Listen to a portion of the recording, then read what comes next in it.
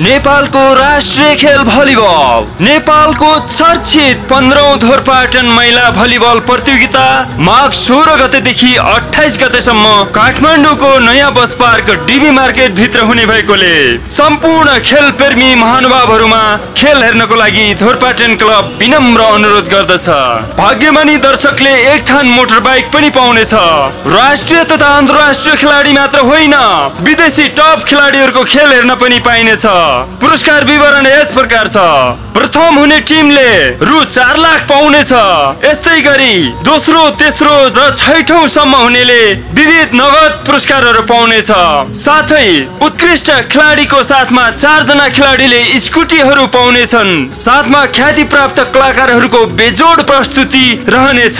सहभागी टिमहरू Nepal APF club Nepal police club Tribhuvan army club new diamond academy Dhurpatan club नयाँ park Kathmandu जाउला खेल भलिबल प्रशिक्षण क्लब चितवन टाइगर चितवन चुली युवा क्लब सुर्खेत बुलबुले रारा क्लब कर्णाली प्रदेश टप्स उच्च मावि पोखरा पारामाउन्ट आवासीय माध्यमिक विद्यालय कुलेश्वर थ्री स्टार एकाडेमी बुढा नीलकण्ठ